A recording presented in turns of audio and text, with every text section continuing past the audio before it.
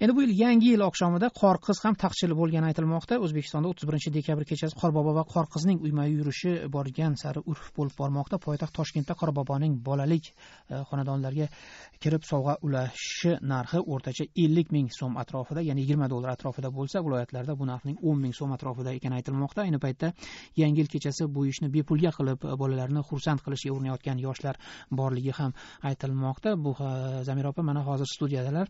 E, mana shu mavzuni o'rgandingiz e, nimaga bu orqasi taqchil bo'lib qolgan o'zbekistonda endi assalomu alaykum. Avvalambor hammaga yangi yil muborak. Eh, Hurmatli haqiqat kun davomida shu shu voqeani hozirgina siz aytgan o'ttiz birinchi dekabr oqshomida o'zbekistondagi xonadonlarga qorbobo va qorqizning kelishi qanday kelishini o'rganishga urinib ko'rdik. Eh, demak bu o'ziga xos biznesga aylanib bormoqda. Ayniqsa poytaxt toshkentda bu yillardan beri maxsus guruhlar bor maxsus haligi legal eh, xizmat ko'rsatuvchi shirkatlar bor. Ularni o'zini preykurantlari bor narxlari ellik ming o'rtacha ellik ming so'm o'rtacha demak narxi yuz mingliklari ham bor ekan qimmatbaho qorboboni. Bu demak yonida qor qizi bilan kelsa o'sha kiyimlarni qanchalik e, jozibadorligiga qarab narx oshsa kerak keyin e, o'sha qaysi tilda gaplashishiga qarab e, siz aytgandek qor qizi taxchil bo'la boshlaganini ham toshkentdan ham urganchdagi suhbatdoshlardan eshitdim. Buni sababini endi har xil izohlash mumkin. Yaxshisi o'sha man bugun suhbatlashgan ayrim o'zbekistonliklar gaplariga quloq solaylik. Urganchlik uch farzandning otasi arslon aka demak yillardan beri o'z farzandlarini o'ttiz birinchi dekabr oqshomida o'sha yangi yil ruhini berish uchun xursand qilish uchun qorbobo xizmatidan foydalanib kelar ekan. Bu yil ham oldindan zakaz qilganiga qaramasdan qorbobo qor qizsiz kirib keldi deb gapirib berdi arslon aka biz bilan suhbatda. Har bir ko'chada bir qorbobo bo'ladi. Ya'ni qorbobo bilan kelishib qo'yasiz. Podarkalarni olib berasiz o'zingiz. Keyin keladida sizni yangi yil oldi kelib bolalarni she'r ayttiradi keyin berib yuborasiz oldindan. Man o'n ming so'm berdim. Endi keldi u yoq bu yog'i bir o'n besh minut vaqti ketdi. Qor boboga o'xshab kiyinganda qor qizini topolmabdi o'rtog'i qor qiz bo'lib ketdi. E, o'g'il bola e, pariklarni kiyib qiz bolacha kiyingan chiroyli kiyingan qiz bolalarni kiyimini kiygan uni svadebniy ko'ylak kiygan. Boshida qorboboni to'ppis uyga qorbobo kirmagan uy bo'lmagan bo'lsa kerak. Bizani masalan tanish bilishlar hammasini uyga kirib chiqishgan o'sha e, arslon aka bilan suhbatdan so'radim bolalar payqamadim desam yo'q ular shunchalik e, bejirim haligi pardoz andoz qilishgan kiyimlari chiroyli bo'lgani uchun bolalar unga mahliyo bo'lib uni o'g'il bola ekanligini ham payqamadi. Biz payqadik maza qilib kuldik deyishdi. Toshkentda e, demak yangi yilni kutib olgan zuhrani aytishiga qaraganda ularnikiga kirib kelgan qor boboni yonida ham qor qizi bo'lmabdi. Zakaz qilmadik kelishdi. Eshikni ochsak qorbobo qorqiz turgan ekan tabriklab ketishdi qor qiz o'g'il bola ekan bilmadim endi kulgili bo'lishi uchundir balkim bilmadim xullas shunaqa bo'lib kiyinib kelishdi. Pul tamom qilmadi lekin eshikni ochdi e, yosh bola buvami she'r aytadigan sovg'a bermoqchimiz deyishdi. Keyin eh, uyda yosh bola bor edi. Sovg'a berishdi. Eh, eh, lekin adajonimiz hali quruq ketishmasin deb u bu narsa berib yuborishdik ularga. Tabriklab ketishdi. Hurmat demak bu suhbatlashganimiz e, o'n to'rt yashar zuhra yo ota onasini haligi hiylai sharisidan bexabar qolgan ya'ni ota ona oldindan zakaz qilib bolalarga aytmasdan qorboboni olib kelgan yoki rostdan ham aytilishiga qaraganda hozir o'zbekistonda ko'ngilli ravishda eshikma eshik hali bozor uncha chaqqon bo'lmagan guruhlar eshikma eshik yurib demak mana qorbobo qorqiz keldi qilib haligi odamlarni ko'nglidan chiqargan pulini olib shu bilan e, bir kecha ancha muncha pul ishlashga harakat qilayotganlar yoki o'zini xursand qilishga urinayotganlar bor bor ekan. Suhbatlashganimiz o'sha toshkentdagi mahallalardan birida yashaydigan o'n yashar yulduz. Garchi yillar davomida uyiga qorbobo va qorqiz kelganini aytsada bu yil kelmaganini aytib buni narx bilan izohlamoqchi bo'ldi. Va uning aytishicha e, qorbobo o'sha mahallalarda turadigan qorbobolar yonida qorqiz ko'rinmaydi.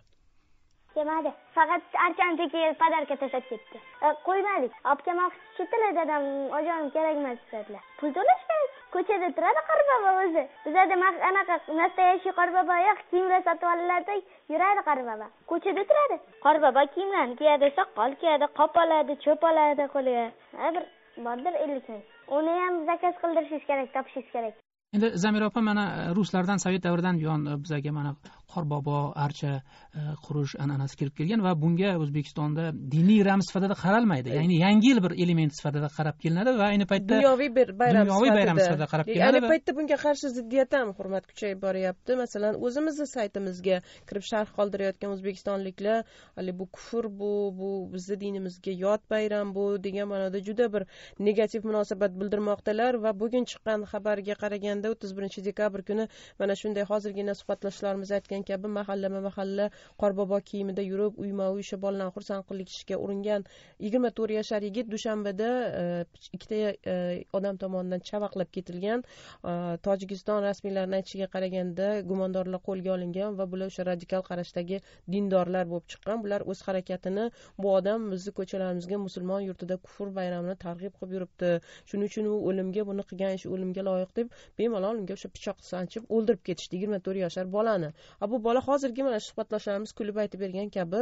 Demak birovlarga shodlik ulashmoqchi balki shu orqali cho'ntagiga ikki uch tanga ishlamoqchi bo'lgan bir oddiygina bir yigit bo'lgan. Shu mana shu э, jamiyatda o'zbek jamiyatida ham э, yangi yilga nisbatan keskinlashib borayotgan ikki o'sha qarama qarshi qarashdan kelib chiqib biz mana shu qarashlarni qandaydir bir yaqinlashtirish ilinjida э, ahmad hoji xorazmiyni suhbatga tortdik. U kishini nomlaridan ko'rinib turgandek u kishi hoji islom bo'yicha ancha muncha e, nima deymiz ma'rifatga ega odam sifatida suhbatga tortdik va e, bu kishi o'sha qorbobo kiyimida e, tushgan suratiga kelayotgan har xil mana shunaqangi bir nafrat ruhi bilan yozilgan sharhlardan anchagina diqqat bo'lib turgan paytda telefon qildik shekilli. U kishi o'sha dilidagini to'kib solib siz aytgan kabi o'sha jamiyatda kuchayib borayotgan mana shu ziddiyatga munosabat bildirdi. Yer yuzining pastli ko'p joylarida kimsa qilinadi bu yangi yil. Buning nimasi yomon ekan uning? Aytishini aytingda. Hammasi xursandchilik bo'lsa masalan bir bittasi qorbobo bo'lsa ikkinchisi qizcha bo'lsa bu odamlarga bolalarga nima ulansa buning nimasi yomon ekan? Shodlik ulanadiku agar rost gapni ochig'ini aytadigan bo'lsa o'sha vahobiylarning mutlaq katta ko'pchiligi islomdan umuman dindan savodi yo'q ularning. Ular faqat fanatiklar. Ulardan kimlardir foydalanadi shunaqa shunaqa ahmoqliklardan. Məsələn, İslamın məsələn mən indi maqtanyan demək o, ah, Qurani Kərimlər, müxtəsər savaqlar, hədis şərif öğütləri deyən kitabları yazgan mən. Hacı mənim Naxçıvəndiyə tariqətdə ibarət qılaman. Gəl şundakı İslamda biranta cəydə məsələn ana şunaqa bir nəsə olmasın, bunaqa olmasın deyən cəyi yox. Bu bir ikinciden yeni yıl bayramı, birinci yıl bayramı. Bu religiozlu bayram olmaz. O mesela İsa'nın tuğulan günü bu olsa 25. dekabr ya 7. yanvarı etse onda serper başka. Bu вообще buni nimaga dinga aloqasi yo'qku bu nimaning bu mana har bir bayramning hammasi yaxshi narsa isoning tavalludini biz ham masalan atmisha qildik masalan man qur'on o'qib iso alayhissalomning ruhlariga duo qildim xo'sh buning nimasi dinda yomon ekan qur'onni ochib o'qisangiz o'sha iso payg'ambar eng oliy payg'ambarlardan birisi ekanligini injil eng yaxshi kitoblardan bitta ekanligini bittasi ekanligini yuzlab joyda ta'kidlagan demak bu hozirda muhojiratda yashayotgan asli o'zbekistonlik ahmad hoji xorazmiyning mana shu yangi yil nishonlanishiga qorbobo qorqiz chaqirtirilishiga norozilik bildirayotgan o'sha diniy guruhlarga munosabati edi. Hurmat e, jamiyatda rang baranglik bo'lgani xohlasa qorbobo qorqizni chaqirishga imkon bo'lgani xohlamasa marhamat o'sha diniy ibodatini qilib yashagani o'sha bir jamiyatda ham ko'p fikrlilik turma turlilik pluralizm bo'lgani har qalay ma'qul ma'qul mana shu dushanbadagi kabi birovni uyiga bayram ulashaman deb borib e, hayotidan e, judo bo'ladiganlardan samira opa o'zingiz bolalaringizga archa qurib berdingizmi? Archa bor uyda bolalar uchun. Yana aytaman bu qandaydir bir e, nima deydi bir diniy ramz sifatida emas. Mana shu yil almashinuvini bir yaxshilik yashil rang o'zimizni ranglarimizdan sevimli ranglarimizdan biz ham biz ham har yili archa qurib yangi yilni kutib qolamiz. rahmat zamira opa. Demak o'zbekistonda ikki ming o'n ikkinchi yil e, ko'plab xonadonlarda archa va qorbobolar bilan kutib olindi. Ozodlik to'lqinlaridasiz. Ozodlik to'lqinlaridasiz. Ozodlik to'lqinlaridasiz.